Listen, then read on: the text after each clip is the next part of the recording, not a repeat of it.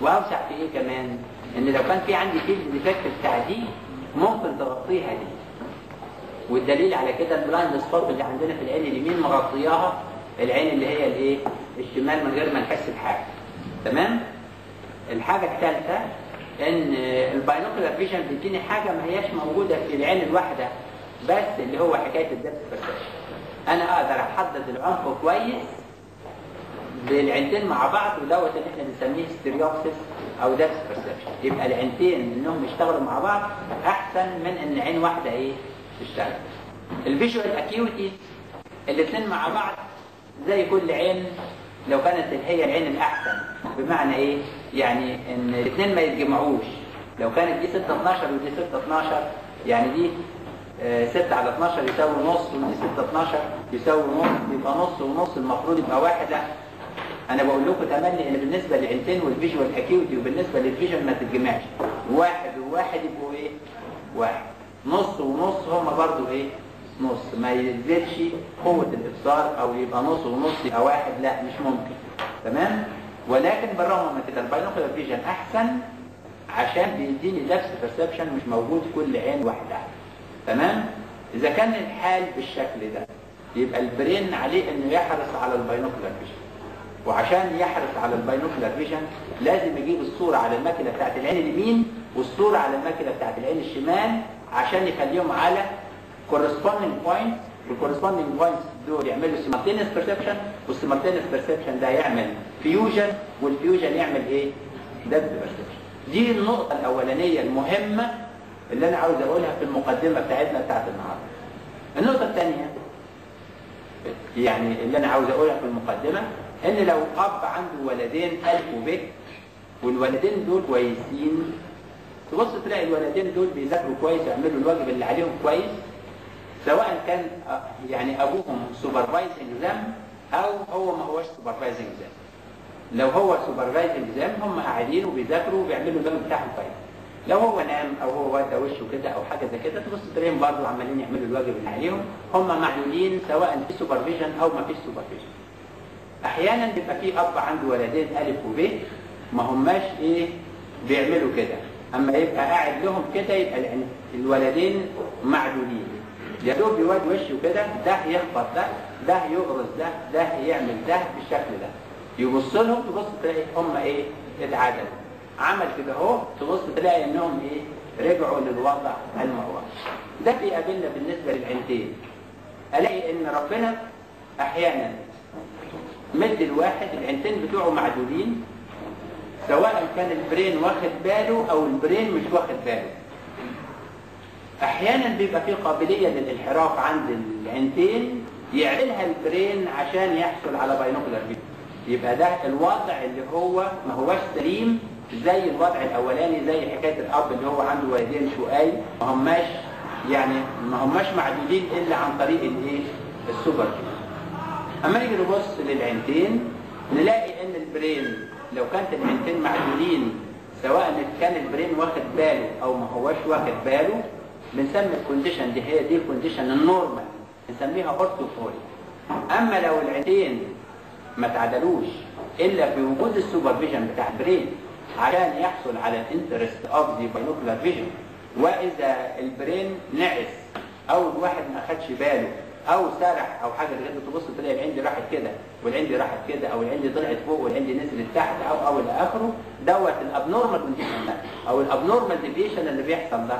in absence of control بتاع ال brain هو ده اللي إحنا بنسميه heterophoria يبقى إيه هو ال heterophoria ممكن إن إحنا نقول إنها ببساطة هي قابلية للانحراف بيعدلها ال brain in the interest of the binocular vision يبقى ده ال definition اللي إحنا هنتكلم عليه في الأول اللي هو قابلية للانحراف.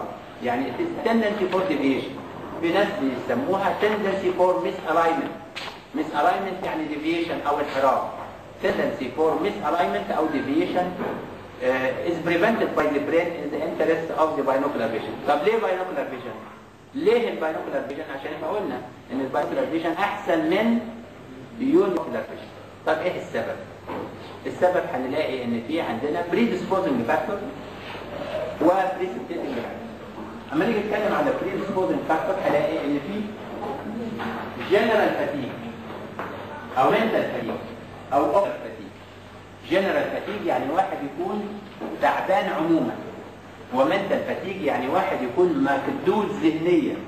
و ocular fatigue يعني واحد عينه تعبان من يعني كثرة الشغل. فلو كان في general fatigue أو mental fatigue أو ocular fatigue ها ده هيساعد في وجود اللي جاي. يا لخبطة في ال anatomy. يا لخبطة في الفسيولوجي اللخبطه في ال anatomy تكون شكلها إيه؟ لو كانت عين لو كان واحد بالشكل ده وعنده عينه كده وعينه كده ومناخيره كده أهو غير ما تبقى واحد كده أهو مناخيره كده أهو وعينه كده أهو وعينه كده أهو. أما نشوف كده نلاقي ال interpupillary distance دي واسعه ونلاقي ال interpupillary distance دي ضيقه ال interpupillary distance الواسعة عاوز ال brain عشان يعمل. binocular vision عاوز يجيب العينتين اللي هم في الخارج دول يجيبهم فين؟ ناحية المركز. والعينتين اللي هم قريبين من بعض عاوز يعدلهم عشان يخليهم ناحية المركز. مش كده ولا إيه؟ فبيبقى في قابلية للانحراف في الحالة دي ناحية بره عشان يحصل divergence هنا وعشان يحصل convergence هنا. أما ال brain interest binocular vision اللي إحنا قلنا إن هو حريص عليه هيخلي العينتين دول يجوا ناحية ال center البرين انت أنت باينوكولار فيجن هيعدل العينتين دول ناحية السنتر يبعد العينتين دول ويقرب العينتين دول عشان حكاية ال binocular vision اللي إحنا قلنا عليها في المقدمة. ال brain هيحرص عليها كل حرص عشان العينتين يبقوا طبيعي. أما ال interpupillary distance تبقى واسعه بنسميها wide interpupillary distance أما ال interpupillary distance تبقى ضيقة بنسميها narrow interpupillary distance اللخبطة في ال anatomy يا wide interpupillary distance بتعمل قابلية للانحراف للخارج يا narrow interpupillary distance بتعمل قابلية للانحراف للداخل أحيانا المسألة ما تبقاش في لخبطة في ال anatomy خالص. يبقى الشكل طبيعي ولا في العينتين بعاد عن بعض ولا هم قريبين من بعض. ولكن تعالى بص إحنا لما بنعمل بنبص على بعد متر بعمل accommodation بما يوازي واحد diopter وبعمل convergence بما يوازي واحد degree لو أنا بصيت على بعد 50 سم بعمل accommodation بما يوازي 2 diopter وبعمل convergence بما يوازي 2 degree لو بصيت على بعد 10 سم بعمل accommodation بما يوازي 10 diopter وبعمل convergence بما يوازي 10 degree كل accommodation يصاحبه convergence مساوي له في المقدار. صح كده؟ أما واحد يكون عنده hypermetropia الشخص اللي عنده hypermetropia عشان يشوف بعيد عاوز accommodation أكتر من الشخص ال normal. وال accommodation الاكتر هيتبعه convergence أكتر وإحنا قلنا في ال concomitant squint لو العينتين لسه ما ارتبطوش مع بعض العين تتولد وعلى طول يجي convergent squint ولكن لو كان ال hypermetropia معقولة وال brain قدر يعدل العينتين in the interest of binocular vision فهيبقى في عندنا العينتين عندهم قابلية للانحراف للداخل. ولكن ال brain in the interest of binocular vision هيعدلهم على حسابه. وتبص تلاقي ال brain يعمل مجهود يشد ال medial rectus شوية ويرخرخ ال lateral rectus أكتر ويشد دي أكتر ويشد دي أكتر in the interest of binocular vision كل ده على حساب ال brain ويعدل العينتين ولكن أما ال brain يعكس أو الشخص ما ياخدش باله أو يجهد أو أو إلى آخره أو يجي له ocular fatigue أو mental fatigue أو general fatigue تبص تلاقي الحول ده يبان ولكن ما فيش الكلام ده تبص تلاقي العين معدولة. in the interest binocular vision يبقى ال hypermetrope يجي له قابلية انحراف للداخل ولا للخارج؟ يجي له convergence ولا divergence يجي له قابلية انحراف للداخل اللي إحنا بنسميها convergence ويجي له convergence ده hypermetrope ال myope يجي له إيه؟ divergence يبقى إحنا عندنا بالنسبة للفيسيولوجي هنقول إن الفيسيولوجي predisposing أو precipitating وال predisposing يا جنرال يا mental يا ocular fatigue وال precipitating يا لخبطة في ال anatomy يا لخبطة في الفسيولوجي اللخبطه في ال anatomy حاجة من الاثنين. يا إما ال interpupillary distance واسعه يبقى في قابلية للانحراف للخارج. يا إما ال interpupillary distance ضيقة يبقى في قابلية للانحراف للداخل. بعد ما تخلص ال anatomy بيكون في لخبطة في الفسيولوجي أحيانا يبقى في لخبطة في الفسيولوجي اللي نقصد دي اللخبطة في ال physiology error of refraction أو A over C ratio متلخبطة. A اللي هي ال accommodation و C اللي هي ال convergence المفروض إن كل accommodation يصاحبه convergence مساوي له في المقدار. فإذا كان في hypermetropia هيبقى فيه more convergence وإذا كان في myopia هيبقى فيه more divergence هتكون النتيجة إن في قابلية انحراف داخل في حالة ال hypermetropia في قابلية انحراف خارج في حالة ال myopia. أما بنخلص ال etiology وننتقل للنقطة اللي بعدها. العين هتروح لفين؟ يا لفوق يا لتحت جوه سميناه eso برة سميناه exo لفوق سميناه hyper تحت سميناه hypo في يضاف عليهم حاجة ثانية إن العين ممكن تلف كده يبقى اسمها سايكو. كل دول تحت عنوان اسمه phoria.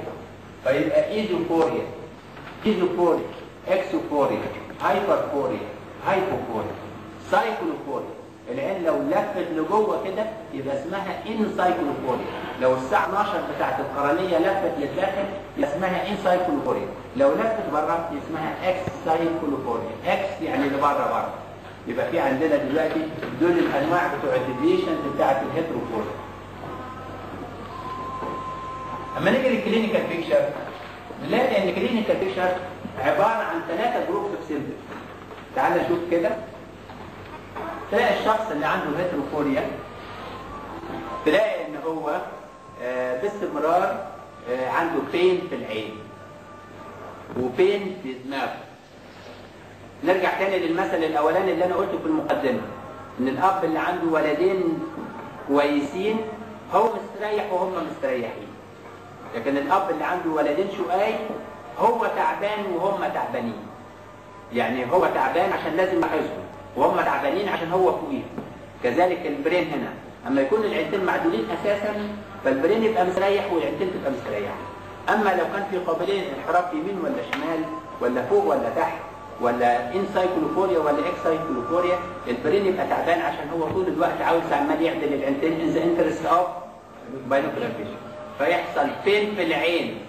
ال pain اللي في العين بنسميه asthenopia ال asthenopia ديت ممكن يكون سببها accommodation زي ما إحنا قلنا في ال hypermetropia وال astigmatism لكن هنا سببها مش ال accommodation. هنا سببها instability of the muscle فتكون النتيجة دي بنسميها muscular asthenopia asthenopia يعني pain في العين؟ ده مش بس كده. ده pain في العين و pain في الدماغ. pain في العين اللي هو asthenopia و pain في الدماغ اللي هو headache مع ال asthenopia دي يحس ب pain؟ lacrimation photophobia أحيانا blepharospasm. يعني حاجات كتيرة تحصل من الايه من الحكاية بتاعت ال muscular asthenopia ويجي لي واحد يقول لي النضاره بتاعتي مش مريحة. قيس النضاره نلاقي إن النضاره زي ما إحنا عملنا كويسة. نقعد نشوف النظر بتاعه نلاقي إن هو بيشوف في دي 6 6 ويشوف في دي 6 6 يشوف النضاره الراجل بتاع النضارات عاملها هي سليمة ولا لأ؟ نلاقي إن الراجل بتاع النضارات عامل النضاره كويس وبالرغم من كده مش مستريح نيجي نكشف عليه نلاقي إن عنده إيه؟ اللي هي الشغلانة اللي إحنا بنتكلم عليها دي اللي هي ال heterophoria إن هو عنده heterophoria وديت مش تصليحها ال error of refraction بس ده معاها أحيانا بضطر ان أنا أعمل حاجة زي ما إحنا هنيجي نتكلم آه بعدين على التصحيح بتاعها. فيبقى ناخد بالنا إن ال heterophoria ديت بيبقى السبب بتاعها آه يعني قصدي إن التصحيح بتاعها مهم عشان الشخص آه يعني ممكن يشتكي من pain و lacrimation و photophobia و blepharospasm وتيجي تشوف النضارة تلاقي ان النضارة مش هي السبب بتاع الموضوع ده. نرجع تاني للكلام فيبقى ال clinical picture هنا في asthenopia أو اللي إحنا بنسميها muscular asthenopia.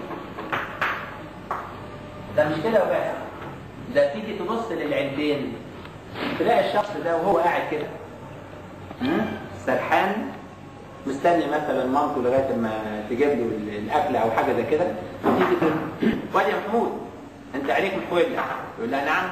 أول ما يقول لها نعم عينيه تتعدل لكن هو قاعد سرحان كده أهو عينيه منحرفة كده. ليه بقى؟ البرين وهو سرحان ما بيبقاش عادل العينتين فقابليه الانحراف تبان. ولذلك كل شوية يقول يا دكتور يا دكتور خدي بالك خد بالك. كويس عشان القابلين انحراف تبان تبص تلاقي العين راحت كده أو راحت كده أو طلعت لفوق أنتوا عارفين إن أنا ببص كويس وبشوف كويس. فايه فتبص تلاقي القابلين الانحراف بتاعت العين بتبان. فده معناها إن الشخص ما هواش إيه؟ مركز 100% فالشخص اللي هو مش مركز 100% ننده له تاني فتبص تلاقي العين تتعدل. تتعدل ليه؟ in the interest of binocular vision طب انحرفت ليه؟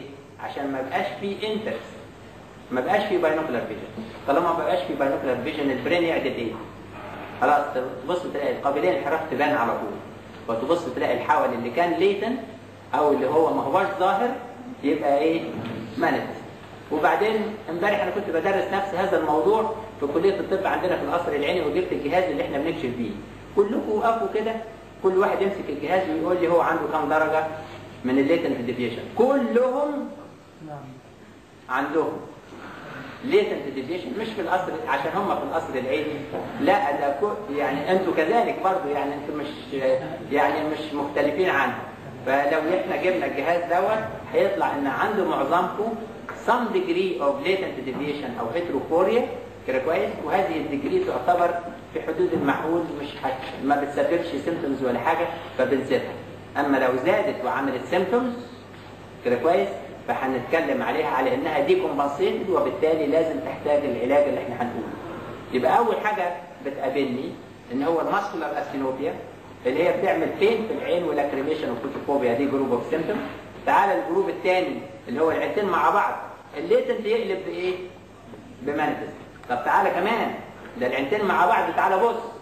واحد عمال بيقرأ بيقرأ بيقرأ بيقرأ وبعد شوية يتعب. أما يتعب ال brain يروح سايب العينتين. فتبص تلاقي السطور دخلت في بعضها أو خرجت مع بعضها. بنسمي دي running of the letters إن السطور تدخل في بعضها أو تخرج من بعضها بنسمي دي running of the letters together وديت نوع من أنواع ال diplopia اللي بتحصل لو العينتين الصور ما جاتش على corresponding points صح كده؟ مش كده وبس. آه، ده ال group الثالث بتاع ال symptoms أحيانا الشخص نفسه ما يقدرش يحدد ال depth كويس. depth perception ودوت مرتبط أحيانا بال postural sensation بتاع ال body ككل. تقول له مثلا آه، يعني في طيارتين دي بتاعتنا ودي بتاعت العدو اضرب على الطيارة بتاعت العدو فما ياخدش باله طبعا هو ما بيحددش ال depth أو ديت مهمة في الطيارين. لو هو نازل بالطيارة تبص تلاقي وانت نازل بالطيارة لو انت جربت الحكاية دي في واحد تبص تلاقي خابط الطيارة كده أهو كده كويس يبطها فتبص تلاقي إن دوت ممكن يعمل إزعاج كتير. ليه بقى؟ وهو نازل يتهيأ له ان الايه؟ الأرض إيه؟ بعيدة فينزل محترس. وبعدين ما توصلش. فيروح سايب نفسه. كده كويس؟ ف- أو العكس صحيح. يعني طالما هو ما بيحددش الدبس كويس فتبص تلاقي إن الايه العجل يخبط منه قبل الميعاد أو يخبط يعني يعني مظبوط. تبص في ناس تبص تلاقيهم حريفه تبص تلاقيهم نازل. لأني جميل جدا ما فيش حاجة أكن ما فيش يعني حاجة جدا. وفي ناس التانيين عندهم هيتروفوريا فتبص تلاقي هيتروفوريا أو ليتر سكوينت اللي إحنا بنتكلم عليه تبص تلاقي يحصل منه الحكاية دي. فناخد بالنا من الحكاية دي. دي بنسميها فوتشرال سنسيشن ديفكت يبقى في عندنا ثلاثة جروبس يعني لو تاخدوا بالكم تلاقوا إن الأولانية فيها ثلاثة يا جنرال يا منتال يا اوكيلر إيه؟ فاتين تلاقي إن الثلاثه groups of symptoms هي muscular asthenopia أو حاجة related ل two eyes مع بعض binocular vision يحصل blurring of vision أو running of the letters together أو يحصل manifest deviation أو حاجة زي كده. أو postural sensation defect postural sensation defect يبقى ده ثلاثة groups of symptoms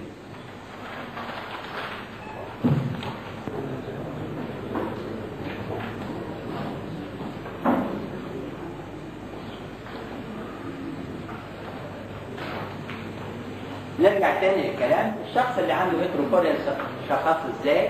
المسألة سهلة جدا. أنا ممكن وأنا واقف على الباب ده وأنتم معديين كده. على طول كده معايا الورقة دي أنا مطبقها أهي. فممكن لو أنتم معديين كده أروح بس مخبي كده وأروح شايل كده. كل واحد وهو ماشي كده يروح مخبي كده ويروح شايل كده. حاجة اسمها cover test فال cover test ده هيبين على طول إذا كان في عندك قابلية للانحراف ولا لأ. قال لي أول ما بتغطي بيبقى في binocular vision ولا uniocular uniocular ال brain يعدل العين ولا ما يعدلهاش؟ يعدل بتاع إيه هو بيعدل in the interest of binocular vision ما فيش binocular vision فالقابلية للانحراف تبان مباشرة. فأول ما تشيل الغطا كده العين اللي كانت منحرفة بعيد تيجي جاري ها في النص العين اللي كانت راحت لفوق تيجي جاري تيجي في النص. العين اللي كانت داخلة لجوه تيجي في النص برضه. العين اللي نزلت لتحت على طول. يعني ديت ما ياخدش في وقت. ودوت ممكن إنك أنت تعمله في الامتحان. الشخص نفسه يبقى يقول له يبص لإصبعك كده تروح مغطي العين دي تروح شايل كده. حتى عين واحدة تكفي. عشان المسألة بتاعت ال heterophoria مش ممكن تبقى في عين واحدة والعين الثانية لا. ها؟ ده لو في عين واحدة في defect على طول تقلب ب concomitant squint ولكن لو كان ال defect بسيط وال brain بيعدل العينتين in the interest of binocular vision ها؟ ما هو لازم تعرف الأساس كويس. لو ما عرفتش الأساس اللي هو ال definition اللي إحنا قلناه هتبص تلاقي نفسك تهت وفي نفس الوقت لو ما فهمتوش تبقى ما انتش فاهم حاجة. فلو كان في علم حد ما حدش يقول لي إن في heterophoria يمين ولا شمال. يعني ما حدش يقول left esophoria أو right exotropia exophoria ولا حاجة زي كده ده ما ينفعش. tropia ممكن. tropia اللي هي بتاعت الايه؟ بتاعت ال concomitant squint ممكن يجي في عين واحدة أو يبقى alternating ولكن بالنسبة للل latent squint مرتبط بإن العينتين يكونوا إيه؟ موجودين مع بعض عشان العينتين لازم يكونوا كويسين. وبالتالي ما فيش المسألة بتاعت ال suppression وال amblyopia اللي إحنا بنقابلنا في ال concomitant squint لو حصل حاجة في عين واحدة تقلب ب concomitant squint تمام؟ فيبقى دوت الايه؟ ال latent squint يدينا الثلاثه groups of symptoms دول وأول حاجة عشان نشخص بيها هو ال screen test. في طريقة ثانية بسيطة جدا. بنجيب إزازة حمراء كده. فيها مجموعة rods كده. الإزازة الحمراء ديت اللي فيها مجموعة rods كده حمراء بنسميها Maddox rod ال Maddox rod ده بحطه في ال frame بتاع النظاره قدام العين اليمين. ال Maddox rod ده أما أبص ل object زي لمبة عاديه كده وادي ال filament بتاعها. ألاقي ال Maddox rod ده لو ال rod محطوط كده والعين الثانية فيها حتة ازازة عادية وادي دوت إيه إحنا مخلينا على اليمين والشمال. هو بيبقى ناحية اليمين. لو المنطق رود محطوط كده بالعرض كده اهو الخطوط بتاعته محطوطة بالعرض والعين الشمال محطوط قدامها إزازة عادية أو ما فيش وهو باصص لللمبة دي بيشوف اللمبة بالعين اليمين خط أحمر وبيشوف اللمبة بالعين الشمال لمبة عادية. الخط الأحمر واللمبة العادية مش ممكن يحصل منهم fusion ال fusion لازم يحصل بين صورتين إيه؟ متماثلتين. أما ما يحصلش fusion ما يبقاش فيه binocular ما يبقاش فيه binocular vision ال brain ما يعدلش العينين فتبص تلاقي الشخص ال normal اللي هو زي الأب الأولاني اللي عنده الولدين اللي هم كويسين تبص تلاقي يشوف الخط الأحمر في وسط اللمبه بالظبط. كده. يشوف الخط الأحمر اللي عاملاها الايه الازازه دي في وسط اللمبه بالظبط. أما الشخص اللي عنده heterophoria يا يشوف الخط يا يمين يا شمال. يمين افرض يبقى عنده lateral rectus paresis يبقى عينه داخلة لجوه ولا لبرة؟ يبقى عنده eso ولا اكسو يبقى عنده ايزو كده كويس؟ عشان اللي عنده ضعف في ال lateral rectus هنا ما فيش paralysis ولا حاجة. ولا حتى paresis إحنا بس بنقول عينه تبقى داخلة لجوه ولا لبرة؟ لو شاف الخط الأحمر على اليمين يبقى عنده esophoria لو شاف الخط الأحمر على الشمال يبقى عنده exophoria لو كان حاطط ده اهو قدام العين اليمين. وحاططها horizontal ولا vertical horizontal. أما لو حطها vertical كده اهو قدام العين اليمين وادي ديت كده هتبص تلاقي يشوف الخط الأحمر. يا فوق اللمبة يا تحت اللمبة. هذه اللمبة اهي يا يشوفه تحت اللمبة كده يا فوق اللمبة كده. على حسب إذا كان عنده hyperphoria أو hypophoria صح كده؟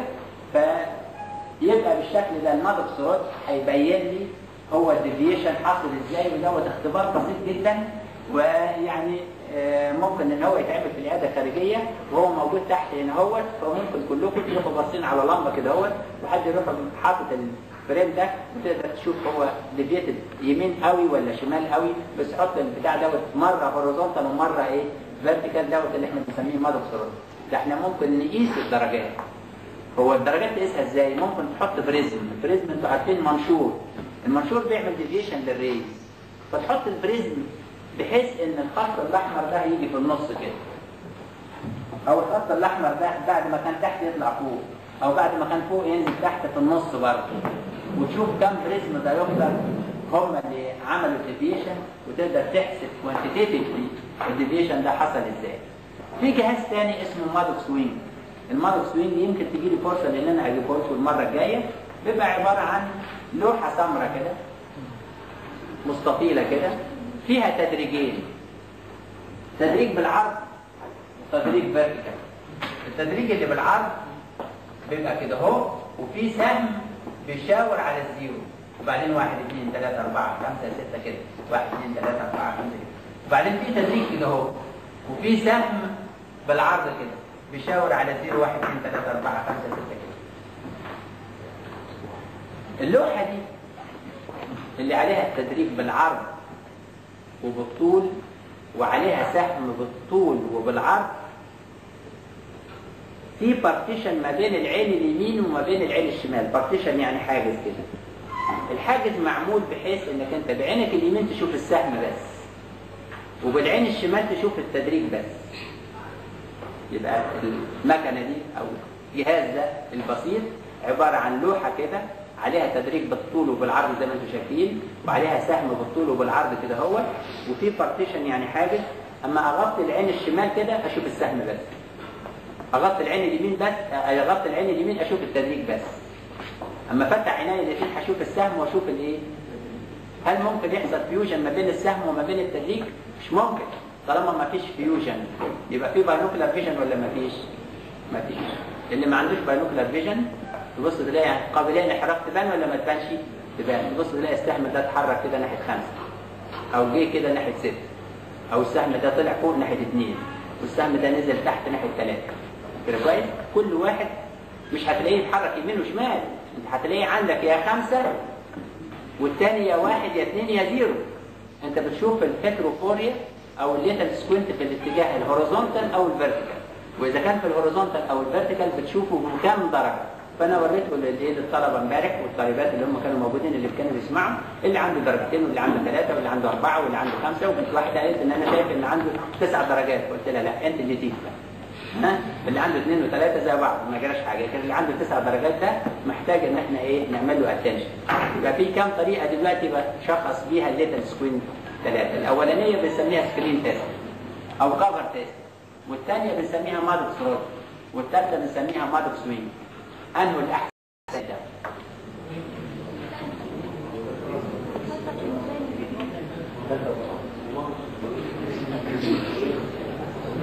أنه الأحسن في الثلاثة. طبعا الأدق ال Maddox rod و Maddox إيه؟ wing ال Maddox wing ده هو هيدي لك الدرجات وال Maddox rod ده ممكن تعرف فيه الدرجات عن طريق ال prism لكن Maddox نفسه حاطط كان في الأوضة اللي هو شغال فيها حاجة زي tangent كده زي الصليب كده حاطط فيها هنا لمبة ومدرج دي كده.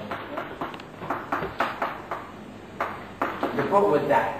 فدوت كان بيوقف العيان على بعد خمس امتار عشان الأوضة بتاعته كانت على خمس امتار وكان بإيه؟ بال tangent ده مقسمه لدرجات 1 2 3 4 ويبقى الشخص نفسه يقول أنا شايف الخط الأحمر على اليمين خمس درجات أو شايف الخط الأحمر على الشمال ثلاث درجات فيبقى ممكن يقيسها ده بال Maddox rod تمام؟ أو إن هو شايف لفوق وشايف لتحت لما يجيب الايه يغير الاتجاه بتاع ال Maddox يشوفه لفوق أو يشوفه لتحت كذا هيقول ده subjective test ده على بعد خمس امتار أو على بعد ست امتار يبقى ده انت you are testing the latent squint for far ولا for near for far لكن ال Maddox wing for إيه؟ for near فيبقى مش واحد أحسن من الثاني لا ده أنت محتاج الاثنين. Maddox rod for far و Maddox wing for إيه؟ for near مو يجوز واحد يكون عنده latent squint for far لكن for near he is good أو العكس صحيح. أو عنده الاثنين. أو الاثنين موجودين بدرجات مختلفة. يكون عنده للبعيد أكتر وللقريب أقل أو للقريب أكتر وللبعيد أقل. وكل دوت بينعكس على التشخيص اللي إحنا بنعمله. أما تلاقي واحد عنده heterophoria for far وإن هو مش عارف يعمل convergence كويس الشخص ده ممكن يشتكي من التعب وقت القراية أكتر مش كده ولا إيه؟ والشخص الثاني يمكن من غير ما يقرأ من غير حاجة اللي عنده heterophoria for far و for near ما فيش في عنده مشكلة. ممكن إن هو يجي اخر النهار تبص تلاقيه يبقى مصدع. من إن عينيه الاثنين عمالين ال brain عاوز يعدلهم in the interest of the binocular vision وهو ما عندوش defect بالنسبة للإيه؟ for near فخد بالك إن الاثنين مطلوبين. ولكن عموما أنا مش هديك ولا Maddox rod في الامتحان ولا Maddox wing لكن اللي في إيدك إيه؟ cover test بايدك ورقة زي دي زي بعضه ما يدكش ورقة اعمل بايدك يعني تغطي عينه كده وروح شايلها عم يبان يعني المسألة يعني إيه؟ سهلة ولا عاوزة ورقة ولا حاجة. يعني يجوز cover يبقى في عندنا ثلاث طرق إحنا بنقيس بيها أو بنشخص بيها ال latent squint الشخص اللي نعم. ال cyclophoria تتشخص إزاي وده سؤال كويس. الشخص اللي عنده cyclophoria ولا يشوف الخط كده. ولا فوق ولا تحت يشوف الخط مايل كده أو يشوفه مايل كده تمام؟ وممكن إن أنا أجيب ال prism اللي يعدله مش كده؟ ده بقيتها صح كده؟ فيبقى اما يشوف الخط مايل كده كويس مؤكد إن عنده إيه؟ cyclophoria يشوف ال prism اللي هو ممكن يعدله ده تمام؟ وديت خاصة كفار وهي ديت أكتر حاجة متعبة ال cyclophoria دي وأكتر حاجة متعبة ال vertical phoria لكن الإيزي والإكسو دي حاجة سهلة وهي موجودة عندكم. يعني كلكم مفيش يعني آه يعني حاجة بسيطة مفيش فيها مشكلة المشكلة في ال vertical phoria تمام؟ نرجع تاني لل treatment الشخص اللي عنده latent كنت أعمل له إيه؟ لو ما عندوش symptoms أعمل له إيه؟ واحد نظر ستة ستة وما بيشتكيش من حاجة وعنده latent squint بالدرجة اللي هي موجودة عند معظم الناس أعمل له إيه؟ مفيش حاجة no symptoms no بعد كده هو أول حاجة عليا إن أنا أعملها ألف ب correction of the error of refraction يبقى أول حاجة optical correction optical correction بنقصد بيها التصحيح بالنظارة. تصحيح بالنظارة إن أنا هعمل له نظارة. عنده hypermetropia هصلحها له. عنده myopia هصلحها له. عنده astigmatism هصححه له. يبقى ديت أول خطوة في الطريق الصحيح ناحية الحل السليم. تمام؟ Correction of the error of refraction. أحيانا أحيانا بحب إن أنا أساعده والمسألة سهلة جدا الشخص اللي عنده intolerable headache بسبب ال latent squint هو السبب إيه؟ ان الصورة بتيجي خارج ال macula وال brain عاوز يجيبها على ال macula. الصورة بتيجي خارج ال macula وال brain يجيبها على ال macula. مش كده؟ ال brain بيجيبها على ال macula in the interest of binocular عينه عاوزه تروح فين؟ بره. مش كده؟ لكن ال brain عاوز يجيبها كده. المسألة سهله، خلي عينه بره. ممكن إن أنا أجيب prism كويس؟ prism يعني إيه؟ منشور أحطه في النضارة وتبص تلاقي إن هي وهي عينه كده الصورة تيجي على ال macula ويبقى ال brain مستريح والعين مستريحة والشخص نفسه ما يحسش بألم ولا حاجة وال intolerable headache ده يخف تماما يبقى أنا اديته prism هذا ال prism اللي هو يخففه اسمه relieving يبقى أنا بالنسبة لل optical correction أنا بعمل نظارة وممكن إن أنا I add إيه حاجة اسمها relieving prism. ولكن أنا لو عملت كده في كل اللي في كل الحالات ممكن إن الشخص نفسه يتضرر. وهقول لك الضرر جاي منين. أما بيبقى واحدة ست ال muscles بتاعت ال abdomen بتاعتها ضعيفة ممكن إنها تاخد corset. فدوت يخلي الشكل أحسن. ولكن بعد ما شوية تبص تلاقي يعني عاوزه corset more tight وتلاقي ال muscles بتاعت ال abdomen بقت أضعف ولا أحسن؟ أضعف. لكن الشخص ده إحنا ممكن أو الشخص دي ممكن إن إحنا ننصحها بإنها تعمل muscular exercises بحيث إنها تخلي ال muscles بتاعت ال abdomen قوية وما تبقى قوية تبقى إيه حاجة أحسن ويبقى الشكل أحسن من غير corset ومن غير حاجة. فالشخص اللي عنده latent deviation وتديله ال prism كده بعد شوية بعد ما يقلع النضاره تبص تلاقي ال squint ده بعد ما كان latent أصبح manifest والضعف اللي في العضلة بقى إيه؟ زيادة. ها؟ فيبقى أنا ضرته ولا أفدته؟ يبقى دلوقتي حصل عليه ضرر مش كده ولا إيه طب الحل. الحل بسيط يا دكتور. المسألة أنت حطيت ال prism كده قام بيخليه مستريح كده. طب حطه كده. أما تحطه كده هتتعبه شوية ده صحيح. ولكن هيقوي إيه؟ ال muscle لما يقوي ال muscle تشيل ال prism بعد كده تبص تلاقي عينه اتعدلت وخفت. فتبقى تديله relieving prism ولا exercising prism exercising كده كويس؟ طيب هل كل عيان تديله exercising prism ده ممكن يروح ينتحر ها؟ ويفقد إيه حياته بسبب ال intolerable headache اللي عنده. كده كويس؟ فيبقى انت ضريته ولا افدته كده كويس؟ نرجع تاني للكلام تعالى بص بقى. إيه القاعدة؟ قال لك ال horizontal phoria تديله exercising prism مؤخر horizontal يعني إيه؟ يا eso يا إكس لكن ال vertical phoria ال brain ما يقدرش يجيب الصورة اللي فوق تحت واللي تحت فوق دي حاجة متعبه جدا. يعني متعبة جدا الشخص نفسه concentrated فالصورة اللي فوق والصورة اللي تحت دي كده كويس أحسن إنك أنت تديله relieving أما ال horizontal phoria أحسن إنك أنت تديله إيه؟ exercising prism وليها قواعد طبعا. والناس اللي هم بتوع ال post graduates إحنا بنسألهم في الكلام ده. إحنا إزاي نديله وازاي we prescribe for him a prism كويس. وقوته تبقى إيه ونحط ال base بتاعته فين والايركس بتاعته إزاي وإزاي تكتب ال program بتاع النظارات وإزاي بعد ما تجيلك النظارة تبقى عارف ها إن النظارة فيها incorporated ال prism ولا لأ وكلام زي كده. نيجي للنقطة اللي بعد كده. يبقى النقطة الأولانية optical treatment عن طريق ال correction بتاع ال glasses أو طريق إنك أنت تحط prism أو لأ.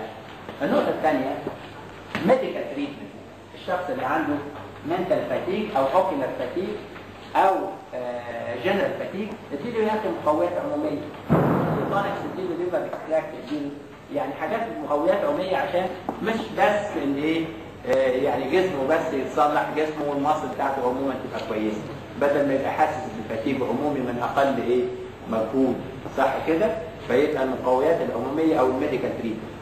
اتعدل كان بها ما اتعدلش نعدله طبعا. إحنا بنعدل أي حد كده كويس؟ ما هوش محدود. وهي الحكاية يعني هي بالنسبة لنا يعني الأمر هين جدا. تمام؟ ال muscle اللي هي الضعيفة أقويها والقويه إيه؟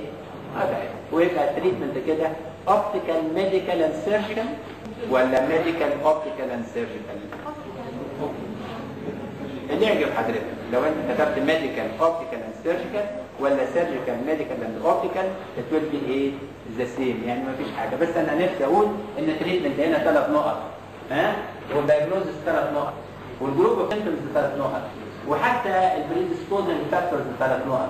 يا جنرال يا mental يا ocular fatigue اما ال definition فهو سهل جدا هي قابلية للانحراف ال brain بيعدلها in the interest of binocular vision. To the tendency for deviation by the brain in the interest of the binocular vision وكل دوت موجود في الورقة اللي أنا بديها لكم دي مكتوب فيها ال paralytic squint وال concomitant squint وال latent squint أو ال heterophoria ومكتوب فيها من الناحية الثانية ال errors of refraction المفروض صفحة واحد errors وصفحه اثنين إيه؟ squint لكن ممكن إنك أنت تقرأ ال squint قبل ما تقرأ ال error لكن الصح إيه؟ تقرأ ال errors قبل وبعدين تقرأ أما بنخلص كده يبقى إحنا خلصنا الايه ال squint الحقيقي اللي هو true squint لكن إحنا قلنا في المقدمة إن ال squint ممكن يكون true ممكن يكون إيه؟ apparent أو false طب إزاي يكون apparent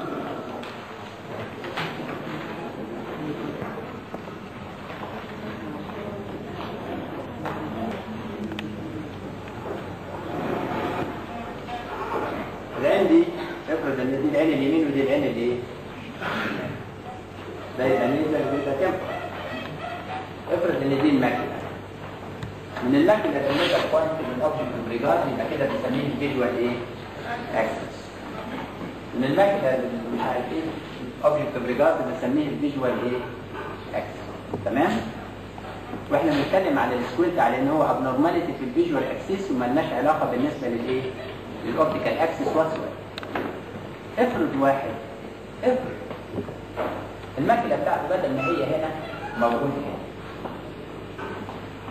أنا بقول افرض عشان الشخص ده يشوف ال object اللي هو موجود هنا هيعمل إيه. هيلف عينه كده.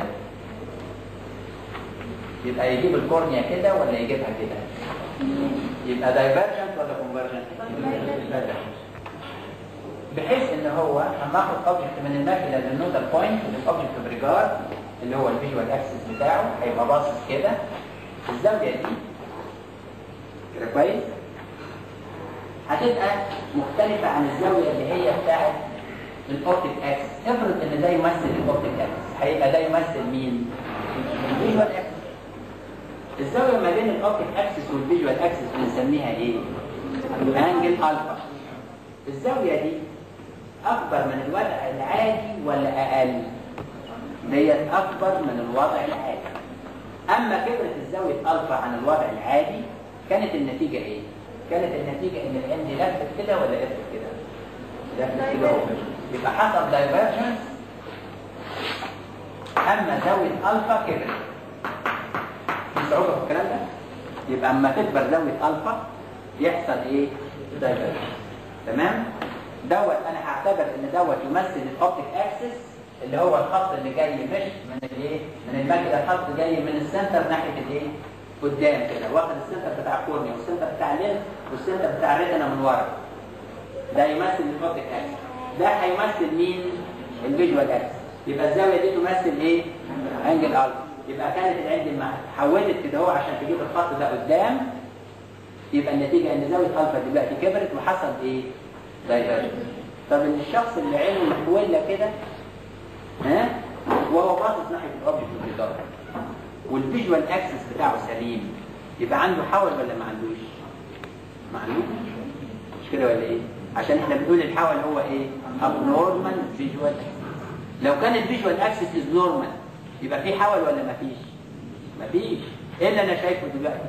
أنا شايف إن العين divergent ولكن حقيقة بالنسبة للإيه؟ بالنسبة للمقاسات there is no squint أنا شايف إيه دلوقتي عين divergent منظرا ولكن functionally there is no squint.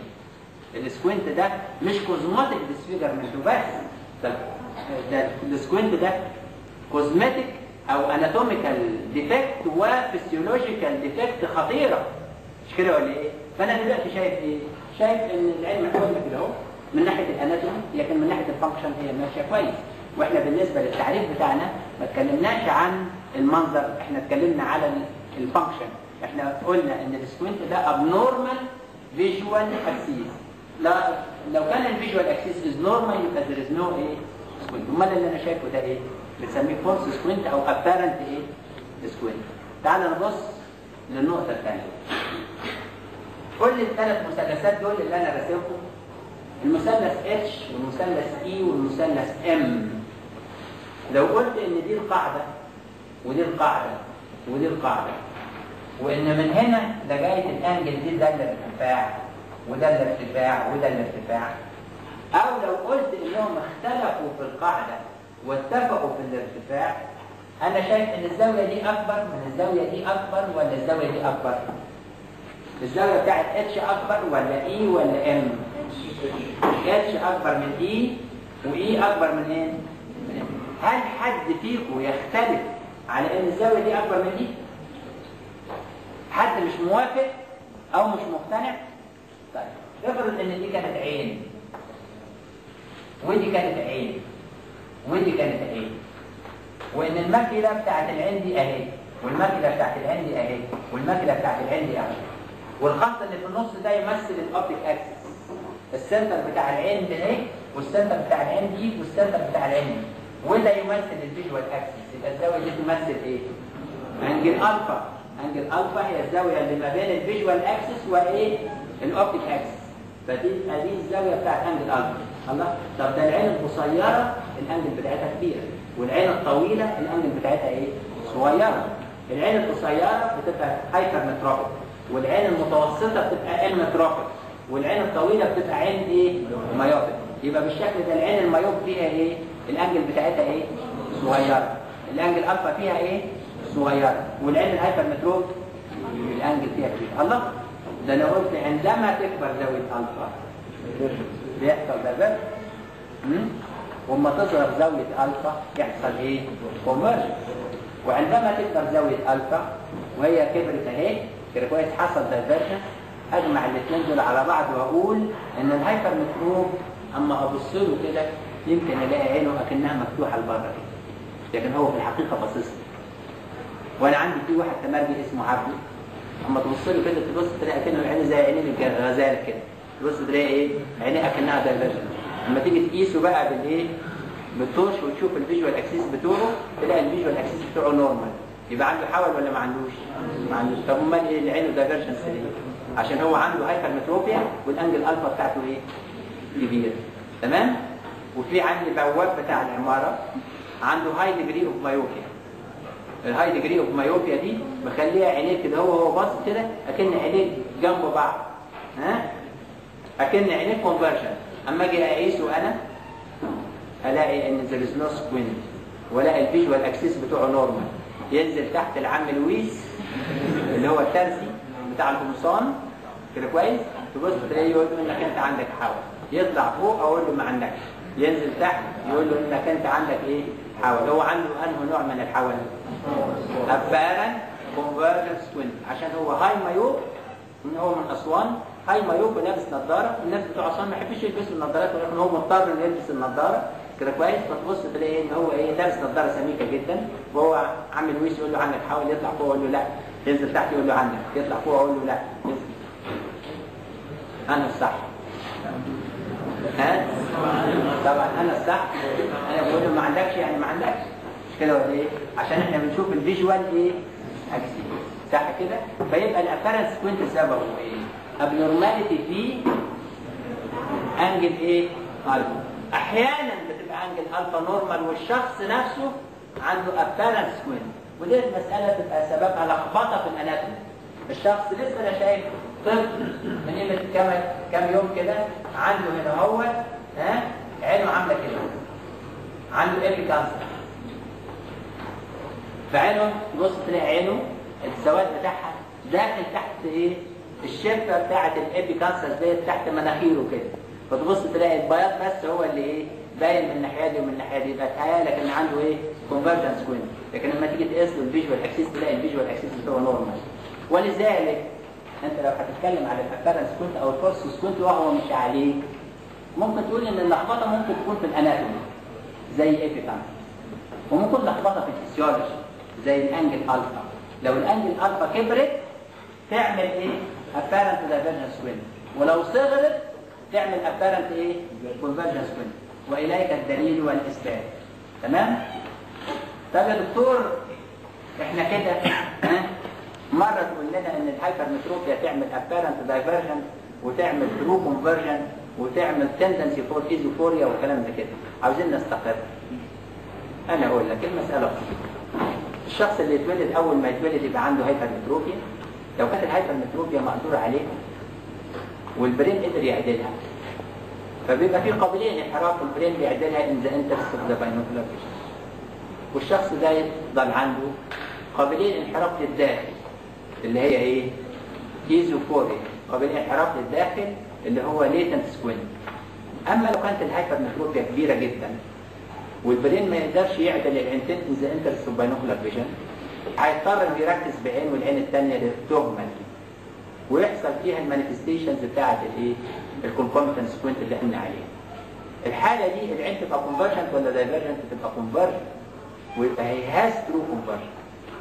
أما ما لو كانش عنده حاجة خالص على الإطلاق وعنده hypermetropia وعينيه مظبوطة في الوضع السليم كل حاجة أنت لما تبص له كده. يتهيألك إن عنده divergent. ولكن لما تيجي تقيس تلاقي إن هو normal يبقى إن متهيأ لك كده إن عنده divergence سببه angle إيه؟ الفا يبقى أكن عنده divergence he has no squint ها؟ He has the appearance of divergence but he has no squint ال squint هو abnormal visual axis لو كان عنده normal visual axis لما تبص له يتهيأ لك إن عنده divergence لكن لو جاله squint يجي له إيه؟ يجي له convergent squint لو ما جالوش يتهيأ لك إن عنده إيه؟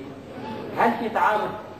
ابدا لو كان normal يتهيأ لك إنه divergent لو كان normal ضروري يحصل له إيه؟ convergence هل في تعارض؟ لو كان normal و physiological أنت يتهيأ لك كده. كده كويس؟ هو physiological وأنت لما بتقيسه تلاقيه physiological أما يتهيأ لك إن عينه أكنها divergent عشان في زاوية عاملها ربنا ما بين ال optic axis وما بين ال visual axis تصور بقى لو كان ال optic axis على ال visual axis ما كانتش حصلت الايه هذا ال appearance at all مش كده ولا إيه؟ ولكن ربنا عامل ديت عشان حاجات كتيرة جدا. حاجات كتيرة جدا. فإحنا إيه؟ حكاية إن ال macula شوية على ال temporal side دي نعمة من عند ربنا وليها تأثيرات كويسة جدا على ال visual acuity بصورة غير عادية. بصورة على النظر وبصورة كمان على المنظر كمان. واخد بالك؟ فهو دوت يعني تبارك الخالق يعني الحقيقة يعني نظام دقيق في كل حاجة. فإحنا دلوقتي نرجع تاني للكلام بتاعنا أما واحد يكون myope يجيله divergent squint أما لو ما جالوش divergent squint ممكن يكون ال myopia بسيطة وال brain بيعدلها in the interest binocular vision. يجي له قابليه انحراف للخارج. أما لو ما كانش فيه ده ولا ده وعنده myopia بسيطة ولما تبص تبص له تلاقي إن هو إيه أو myopia كبيرة أما تبص له ال brain معدول والعينتين معدولين وكل حاجة كويسة يتهيأ لك إن عنده إيه convergence ولكن في الحقيقة هو عينيه إيه ال visual axis بتوعه straight وهو ال convergence ده جاية من إن ال angle alpha صغرت أو أحيانا تبقى بال negative وتتقلب ويعني تبقى يعني تدينا هذا المنظر أما بنخلص كده يبقى إحنا خلصنا ال squint manifest و latent وسواء كان manifest أو latent سواء كان true أو false صح كده؟ في أي سؤال تاني؟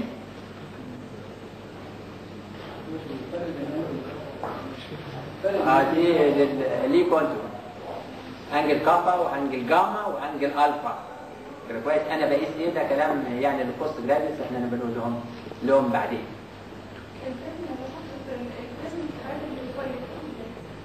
في النظاره